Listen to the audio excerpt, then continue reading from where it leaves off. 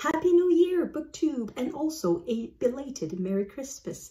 I did not film anything on Christmas because I had no voice and I was sick the past couple of weeks, so I haven't watched a lot of BookTube. But, but, but, but, I hope I'm going to be able to catch up now that I'm much better. And I hope that I'm going to be able to film this video without coughing too much. If I do cough, I'll just cut it out because that's the wonder of editing.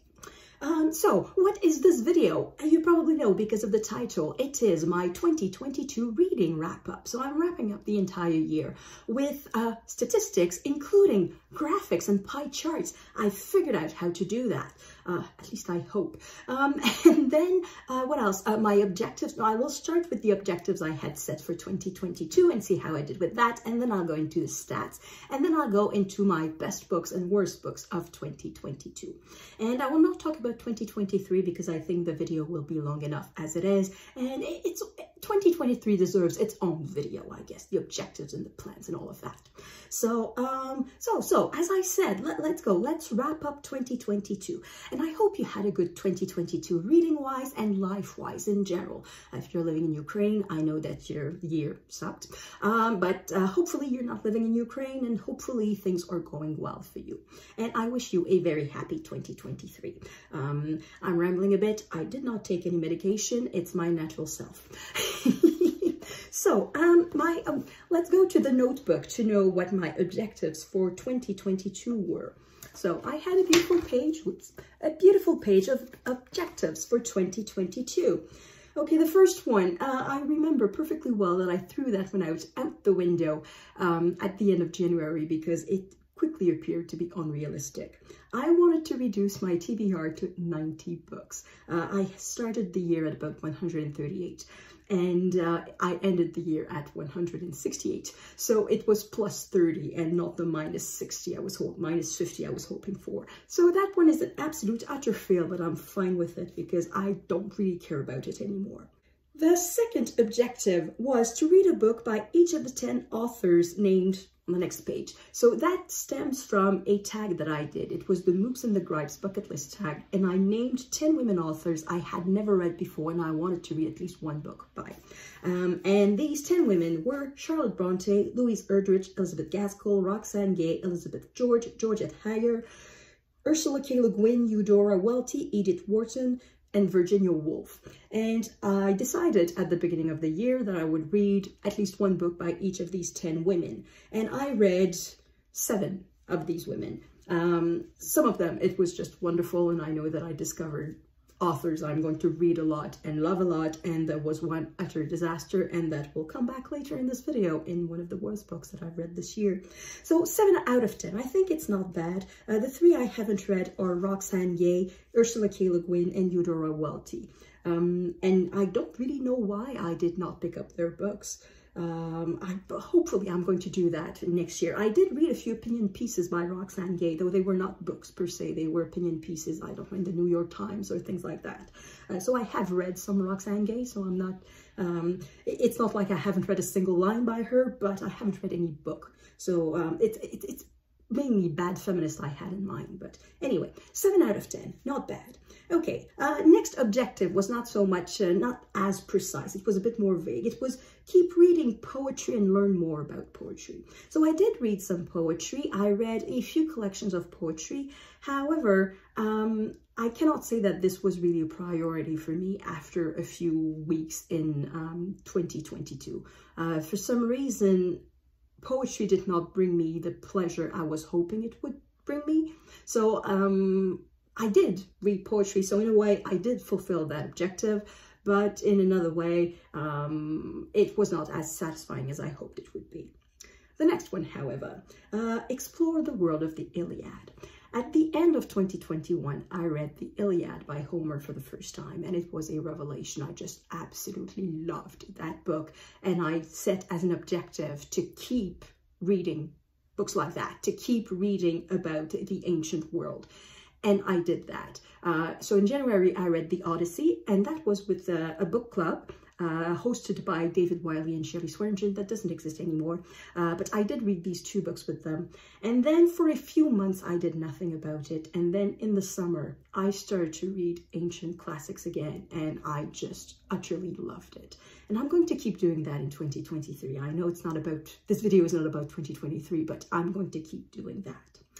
And then uh, the last objective was to explore the possibilities of booktube.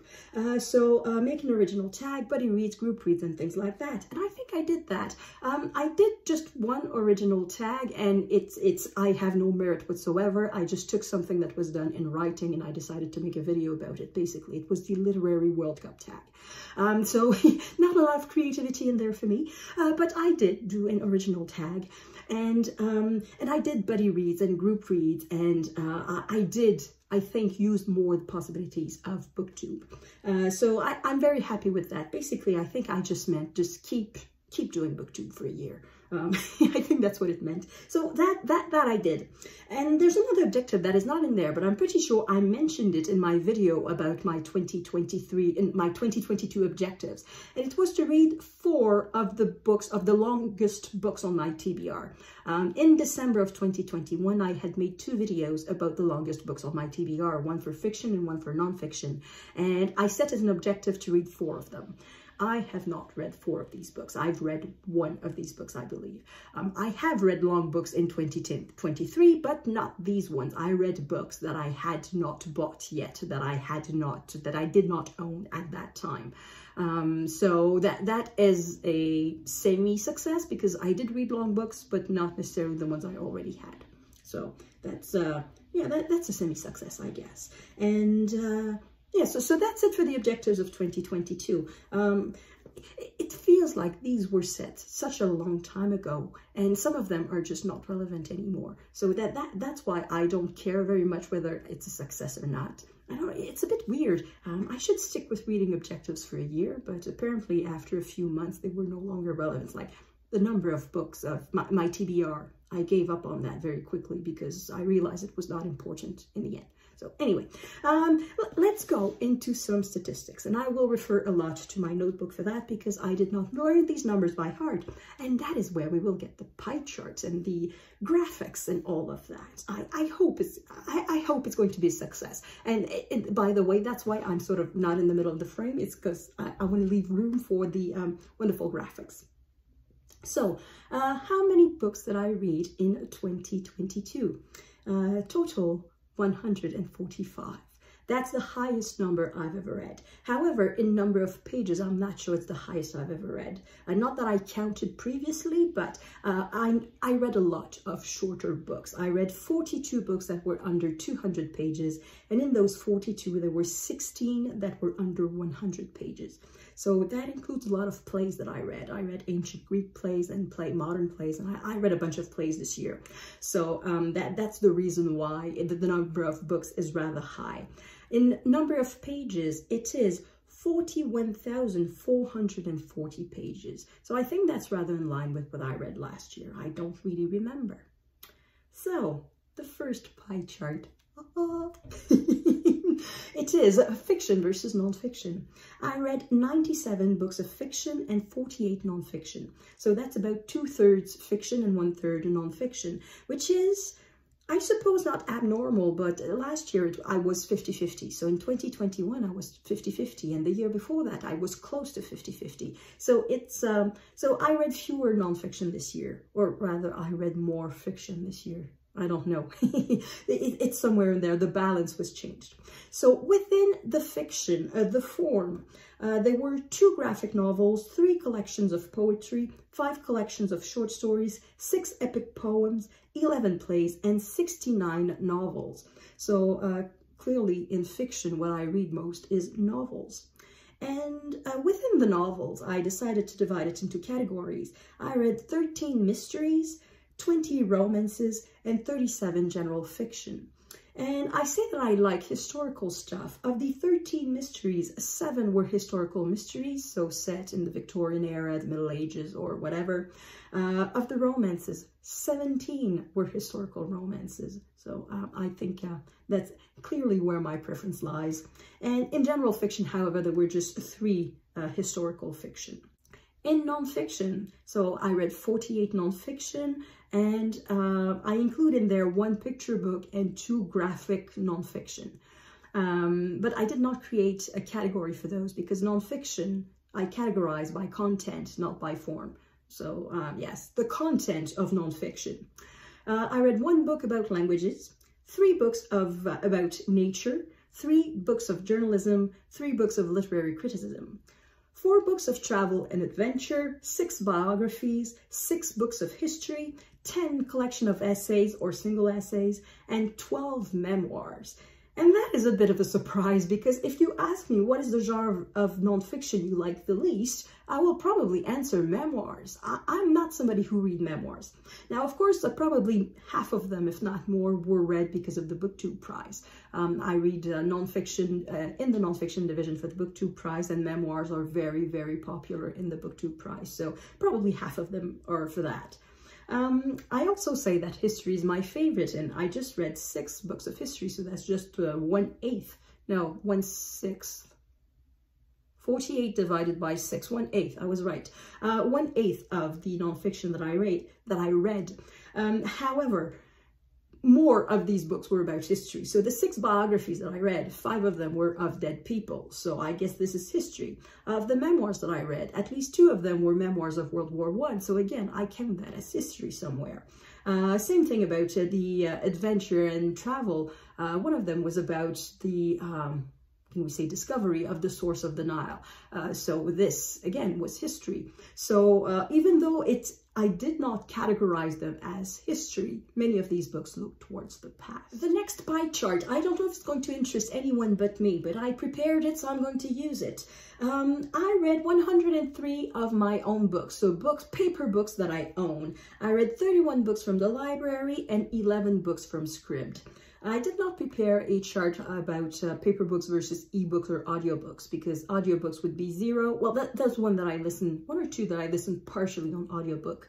Um, but basically it's it's not really worth it. And same thing for ebooks. Um, so all the books from Scribd are ebooks, so that's at least 11, and a few from the library were also ebooks. But my own books, they were all paper books. So I think uh, it, it's obvious and clear that I prefer paper books to ebooks or audiobooks. Another statistic that I thought would be much more interesting is the original date of publication. So do I read new releases or older books? You probably already know the answer. So I uh, divided it into various time periods. So the farther back we go in time, the longer the time period and the closer to as the shorter the time period. So the first time period is antiquity. So basically from the invention of writing to the fall of the Western Roman Empire, so about the year 500 and I read 11 books that were written during that time. Um, the Middle Ages, from the year about 500 to 1500, I read one book. Modern times, uh, for the purposes of this graph, it's going to be from the year 1500 to the year 1799. And I read one book uh, that was written originally during that time, and that was a play by Molière. Um, 19th century. Uh, so we are getting closer to as the time period is getting shorter. So now it's a 100 year. Um, I read 15 books originally published in the 19th century. I read 41 books originally published in the 20th century.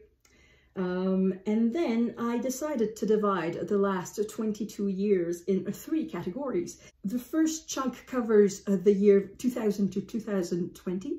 Uh, so uh, the first 20 years of the millennia. And I read 40 books that were originally published during those 20 years. And then I decided to uh, divide new releases into 2021 and 2022. And I read uh, 23 books that were originally published in 2021 and 13 that were originally published in 2022. Um, the two colors in the graph uh, show the divide between fiction and nonfiction. So all the books that I read that were originally published before the 20th century, they were all they were all fiction. So I did not read any ancient nonfiction. And then in the books for the 20th century, I read eight nonfiction. In the books for 20, uh, the, the first 20 years of uh, our millennia, uh, 10 were nonfiction. So a quarter of what I read was nonfiction. And then where it gets interesting, it's in the last two years and the new releases, 2021 and 2022. So uh, these two years together, I read 36 books And of these 36, 28 were nonfiction. So for nonfiction, I really read much more recent books than in fiction. Uh, I read only three fiction that were released this year, 2022. Um, I, and I think they were all category fiction. I think it was two mysteries and one romance or two romances and one mystery, something like that. Um, and same thing for 2021. Most of the books that I read that were published in 2021 were for the BookTube Prize. And because I read only nonfiction for the BookTube Prize, that means that I read almost um, all nonfiction for, for 2021. Uh, the books that I read that were published in 2021 were almost all nonfiction. And then, uh, then we are going into a different type of graph. We are going into a map. Uh, I took that idea from Jim, from the channel Jim's, Jim's Books, Reading and Stuff. And he talks about geographical diversity in our reading. And I think it's very important. Um, I want to read about the world. Books are my main entry, my main window into the world. So if I want to read about the world, I should read about a whole bunch of different places. Uh, Jim makes his map based on the author's place of birth. I decided to make my map based on the location, the setting of the book or the subject of the book. Uh, because I thought it was more relevant. So, um, for example, I recently read a book by a Canadian journalist about Ukraine, and I think that book tells me a lot more about Ukraine than it tells me about Canada. So I decided that that book the, the important country in that book was Ukraine. So, um, so the, the, countries that I visited, I'm going to call it that, visiting countries uh, through books. Uh, I visited 28 countries and quite a few of these countries I would not have visited had it not been for the two readathons hosted by Mark from Booktime with Elvis related to football or soccer. Uh, we started the year with the African Cup of Nations, uh, which is the soccer tournament for the African countries. And because of that, I read about five books uh, set in Africa and I that, that that just started the year with a lot of diversity. And then we did that again for the World Cup. And this time I visited a bit more um, I stayed a bit more in Europe uh, but nevertheless it did take me to a few places I maybe would not have gone uh, had I not picked up that country for that readathon. So uh, in alphabetical order, the countries that I visited, Argentina, who won the World Cup, uh, and I read a book by an Argentinian author set in Argentina just because of the World Cup. Uh, up to the end of December, well, mid-December, I had not read anything set in Argentina, but the, the, the, the readathon made me read one. So Argentina, Australia, Austria, Cameroon, Canada, Egypt, France, Gambia, Greece, um, I should say that is ancient Greece, not modern Greece, uh, Guinea, Haiti, Honduras, Iran, and then I wrote Iraq. Uh, I have sort of the problem that when I read ancient books, uh, they are set in countries that don't exist anymore, such as Mesopotamia or Babylon or something like that.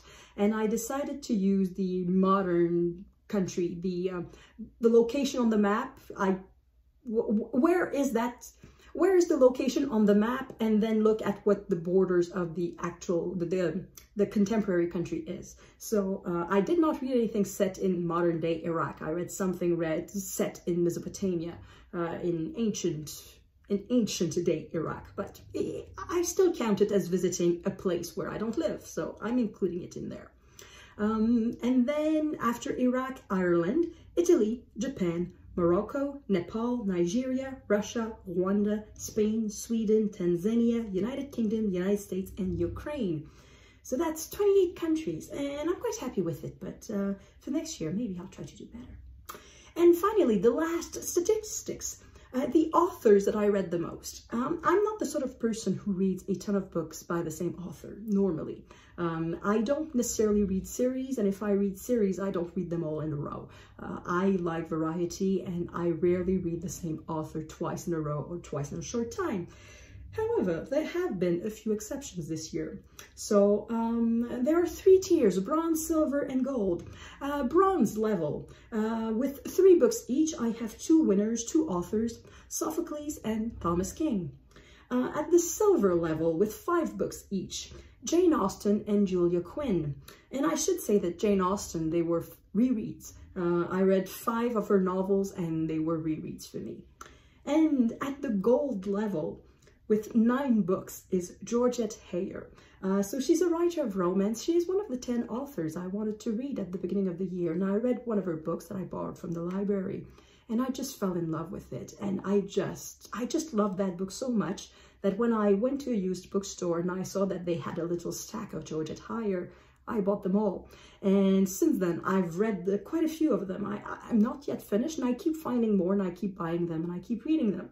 So I read nine books by Georgette Heyer, and I cannot say that they were all extraordinarily good. They were all good, and none of them made me uh, question why I read that author. Because sometimes it happens, you read an author and you like them, and then you read one book and you just question, why do I read that? Because that's really bad. Um, in the case of Georgette Heyer, it's just some of them did not age well because these are romances that were written um, in the, well, not necessarily early, but middle of the 20th century. She started in the 1920s and she wrote all the way to the 1960s. And some things did not age well. But beyond that, I just really love her books. So that's it for the statistics. So now if you if you if you are watching this video just for the graphs, I guess, uh, you're, well, you're done because I, I'm out of graphics uh, for this video. Uh, however, now is the moment for the tops and, uh, well, the best and worst of the year. So the tops and flops to borrow from uh, Britta Bohler. Um, I'm going to start by giving awards. Do, do, I call them awards? I'm going to call them awards. A sort of best book in certain categories. And then I'm going to do my top five fiction and my top five nonfiction.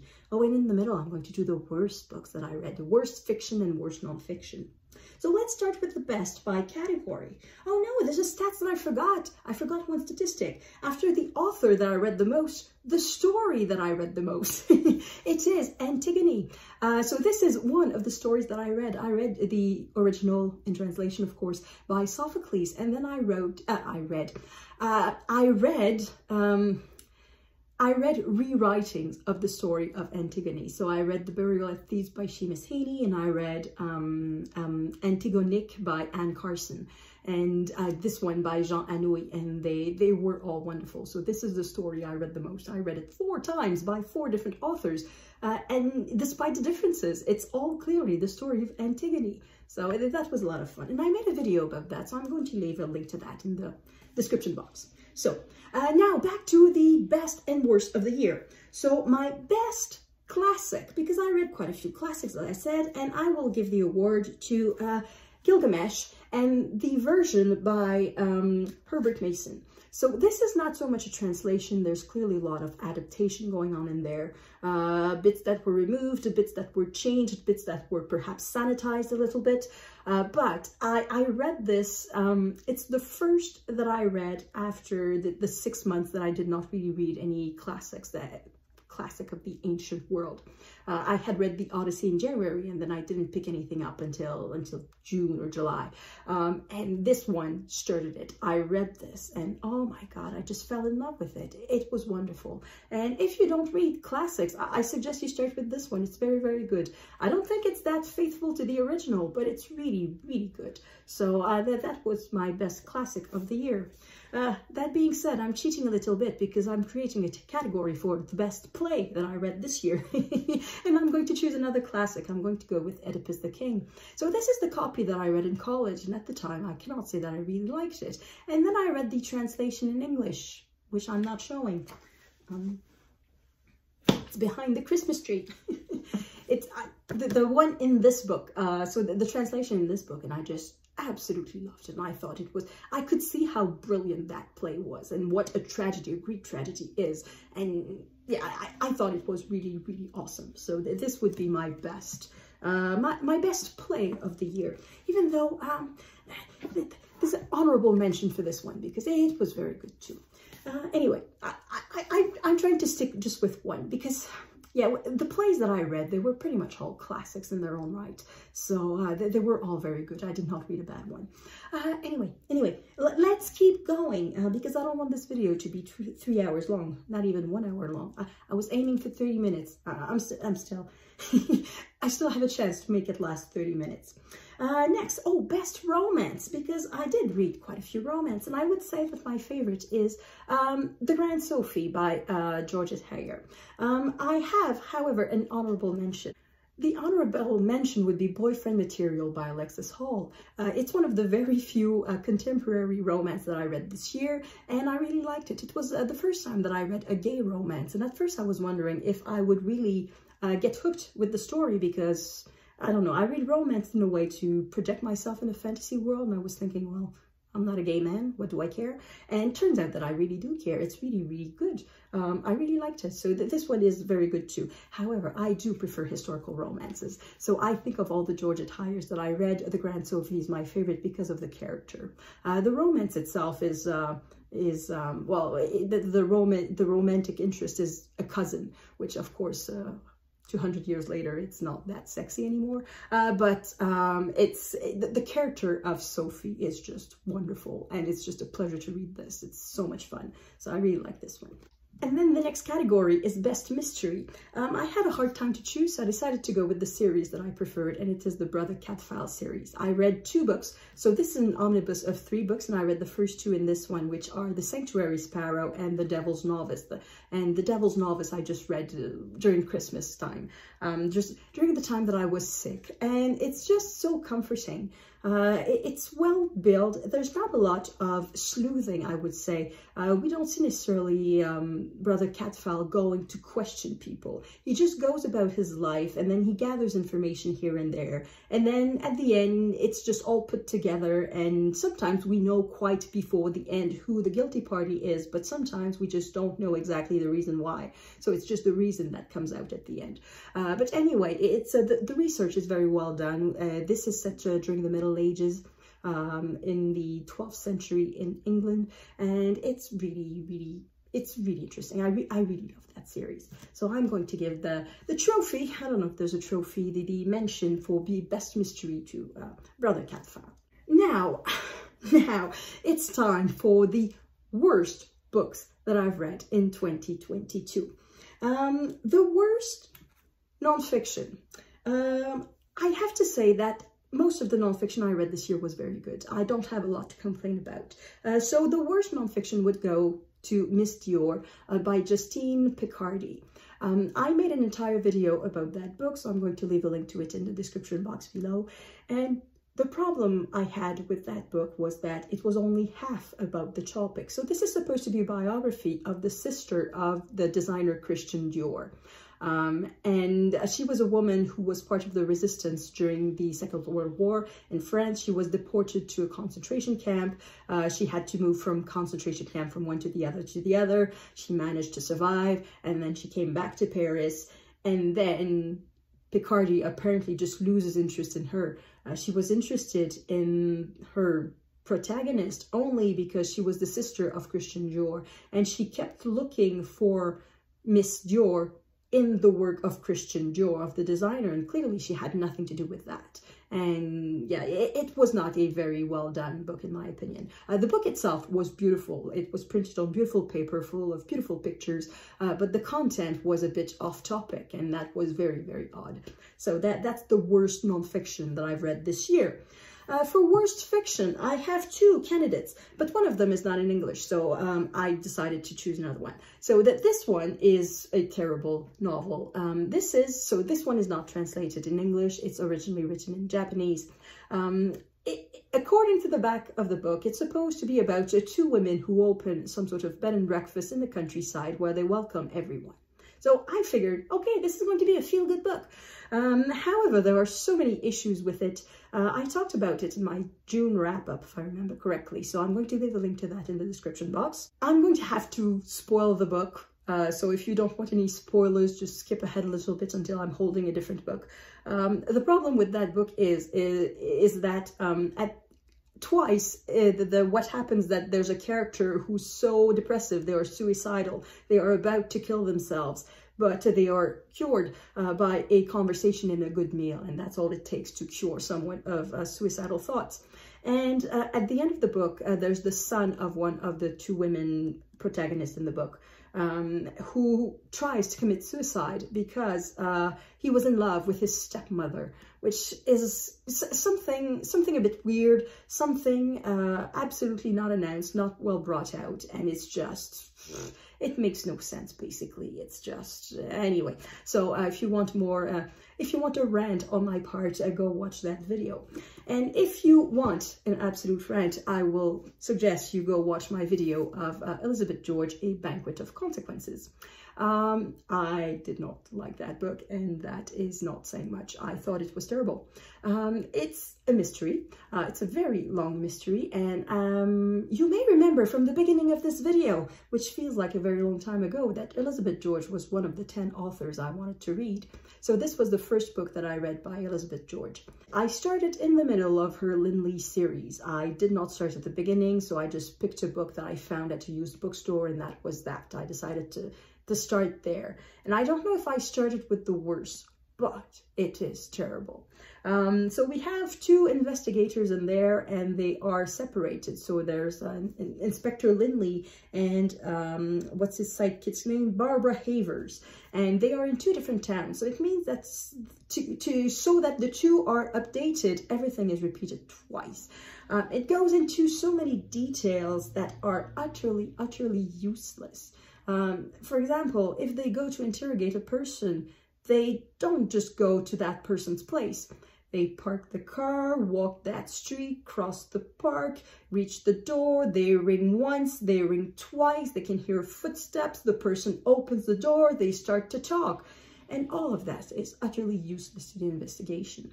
And they, it's done every time a character moves. And there are things that make no sense at all. Uh, one thing that makes absolutely no sense is that Barbara Havers is about to be fired. If she, she steps if she steps one toe in the wrong place, she's going to be fired. And one of the things that she does is to stay like in a hotel, but it's not a hotel, it's the victim's house. She decides to use the victim's house as the place where she's going to stay for the investigation which is utterly ridiculous. It makes no sense.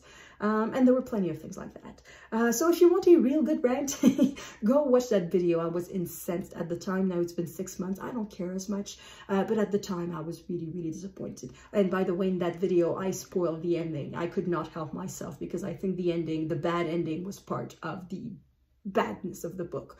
Uh, it's a terrible book. So that that's the worst fiction that I've read this year. Now, happier thoughts, my top five fiction of the year. Um, they are in no particular order. Um, I think they are in the order they fit in the pile. And these are my top five fiction of the year.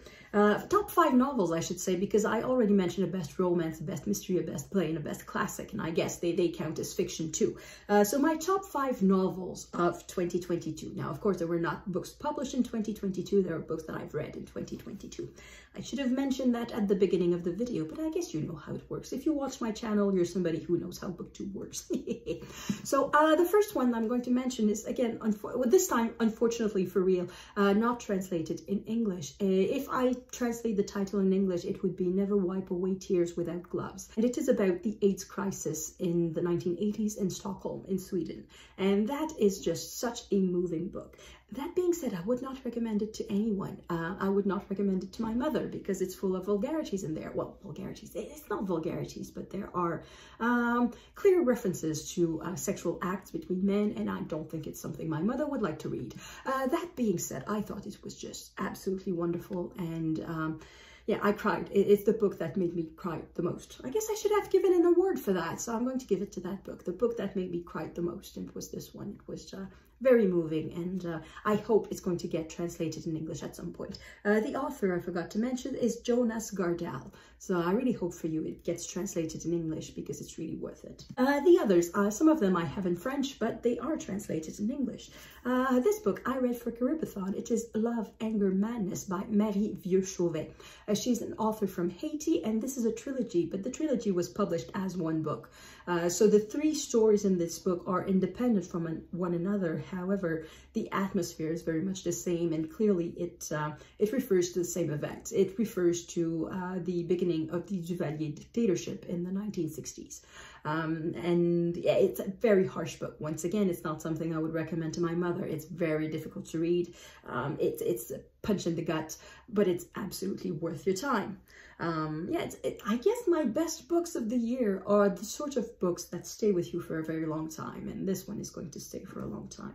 And I read this for Caribathon. So keep an eye out for Caribathon for next year. Uh, it is a reading event hosted in June. And we are encouraged to read books written by authors from the Caribbean. And this book is by an author from Haiti.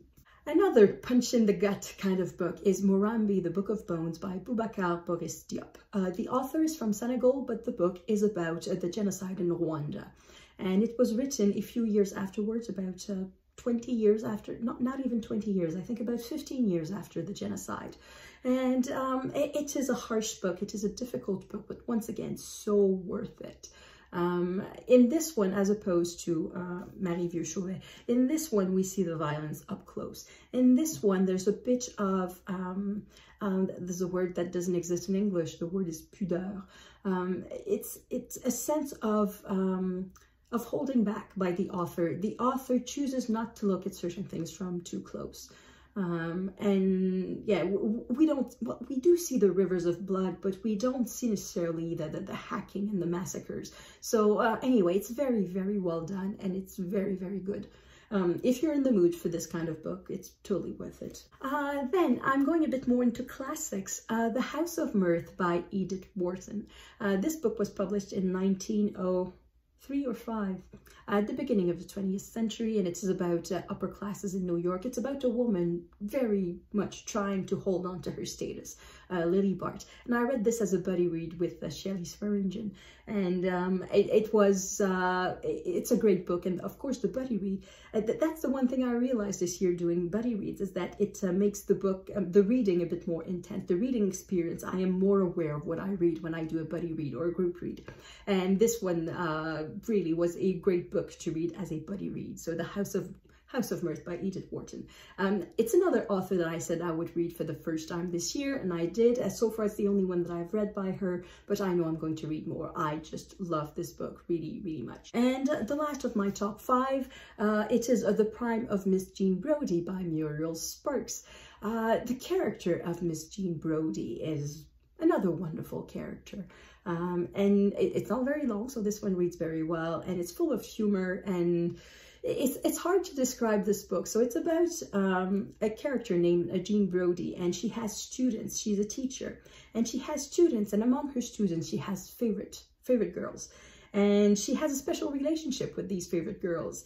And not much happens in a way because she, she keeps telling stories about herself and that's what she does. And uh, basically she's holding herself as an example to her girls, saying, if you do like me, you're going to be great. And it turns out that it's not quite the truth, uh, but however, it, it's, it's so much fun. Um, I, I really enjoyed this book. So if you're not into very hard and sad books, because I guess all the ones that I talked about previously are sad in some sort of way, uh, this one is a much happier book. Not that there's a happy ending, but on the tone of it is much lighter. Eh? We're not reading a tragedy. Um, it's it's the tone is much lighter. So this it, it's almost a comedy. Is it a comedy? Uh, yeah, yeah, it's a, it's a bit of uh, bittersweet comedy, but there's a lot of comedy in the book. So that's my top five fiction of the year. Uh, the top five nonfiction, this one in no particular order except for the last, because the last book I'm going to mention is going to be my favorite book of the year. Um, so uh, my top five nonfiction, that it's a bit all over the place. So uh, this, um, the title in English is For Want of a Fir Tree, uh, Ukraine Undone, and it is by journalist Frédérick Lavoie. Uh, so this is not about 2022 Ukraine. It's about the situation that happened in 2014, 2015. And I thought it was just so enlightening about what is the situation right now. It explains a lot of what is going on now in Ukraine, even though it's about events that happened five or six years ago. Uh, it, it's short. Uh, it's I gave you the title in English, so if you have the chance to read it, it's totally worth it. And this was supposed to be a top five, a quick top five. I'm not supposed to talk about the book in that much length. Uh, go quicker for the other ones. Uh, so um, this one, Into Thin Air by Jon Krakauer. This is uh, a journalist who is specialized in outdoor and travel event uh, journalism. And uh, he, in the 1990s, at the end of the 1990s, he got, he became part of an expedition, commercial expedition to the summit of Mount Everest. And that expedition was a catastrophe. People died. And this is his account of what happened. And also he made some investigations to try to, to make sure that he had all the facts correct. So he, it's not just a memoir. It's not just his recollection. There's also journalism that's part of it. And it's super interesting. It is fascinating. Um, a book that I just read for Nonfiction November, The Tigress of Forli by Elizabeth Lev. Um, I love that book because I think I love the period and because the character of Caterina Sforza is just extraordinary. She lived during a time period that's just fascinating and over the top um, in the way they lived. And it's just a fascinating insight into that period. So I really enjoyed that book. The last two of my top 10 I read uh, as library books. I don't have copies. So uh, one of them is one that I read very early at the, uh, at the beginning of the year. Uh, it's Pastoral Song by James Rebanks. Uh, this is part memoir and part nature book. Uh, so James Rebanks is a farmer in England and he talks about industrial farming and how bad that is for the land, how bad that is long-term for human beings and how we should go back to smaller scale farming and how that would be good. And it was super interesting. Why, what do I care about farming? I don't care about farming, but when I read this, I cared. And I think that's the mark of a very good book. And finally, my favorite nonfiction of the year and my favorite non book of the year, all category confounded. It is We Don't Know Ourselves, A Personal History of Ireland by Fintan O'Toole. And the reason why I love that book so much, I I don't think it's only because of the book. It's not just because of the content, but it's because of the conversations that it sparked with my father. So uh, Fintan O'Toole uh, was born in the 1950s in um, Ireland and he decides to use his lifetime as the frame for a history of modern Ireland. And uh, so he starts by painting the picture of what Ireland was in the 1950s. And the reason I say it started uh, conversations with my father is because um, there were very often comparisons were made between Ireland and the province of Quebec because there were many similarities. Um, both were regions, countries slash provinces under English domination. Uh, in both cases, the church, Catholic Church, had a very strong grip on the personal lives of people, on the on the governmental decisions, um, the, the, lifestyle and the situation, generally social situation of people in Ireland and people in the province of Quebec were very similar. Um, however, at some point it started to change. So uh, I was talking to my father about the situation in the 1950s in Ireland, and he said, yeah, well, that was pretty much what it was in the province of Quebec too. And as I kept reading the book, I kept asking my father about these changes. When did they happen in Quebec? And what becomes clear is that the, the the destiny, the road of Ireland and Quebec towards moder modernity was very different. In the province of Quebec, it went a lot faster. In the 1960s, Quebec started to modernize. Uh, the church was sort of put aside very quickly. Uh, it got out of schools, out of hospitals. Uh, things became, the government became secular, basically. So became um, just without religion everywhere. Um, the, the school system was modernized. Um, electricity was brought a little bit everywhere in the province and same thing for plumbing. Uh, that had started in the 1950s. Uh, in Quebec, it's, all, it's called the Quiet Revolution because by the end of the 1960s, how the way people lived had almost nothing to do with the way they lived at the beginning of the 1950s. So it was over 20 years and it's often associated with the election of a particular prime minister, well, it's not prime minister, it's the premier uh, of the province in 1960, Jean Lesage. However, the, the changes had started a little bit in the 1950s. Uh, but by the 1960s, the changes were going rapidly and very quickly. And by the end of the 1960s, the province of Quebec was a modern country. However, in Ireland, it took a lot longer than that. And one statistic that sort of confounded me, that was, wow, that, that that is incredible, is that uh, by the end of the 1980s, so at the early 1990s, still 90% of the population went to church at least once a week. And in the province of Quebec, that, that was absolutely not true. Uh, by the 1960s, people stopped going to church. They did not necessarily stop believing in God, but they stopped going to church regularly. They went for social events like weddings and funerals and baptisms, and they went for special occasions like Christmas and Easter, and they did not necessarily go every week. Perhaps they went once in a while. And then gradually people stopped going even for these occasions. And now in the province of Quebec, half the couples don't even bother to get married at all. Um, most, I think most of the children are not baptized. Um, it's, it's just, nobody cares about these things anymore. And in the 19, at the end of the 1980s and 1990s, um, my mother took me to church relatively regularly. Uh, I was serving mass once every three weeks approximately.